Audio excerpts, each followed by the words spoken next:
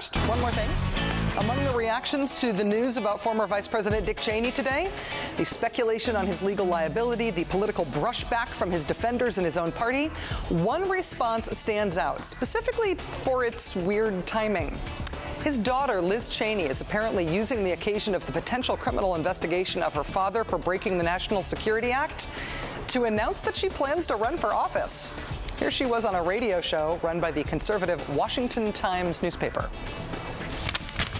it's something I may well do down the road here. I hope to, you know, have the opportunity at some point to have that, you know, make sense for my family and everything else that's going on.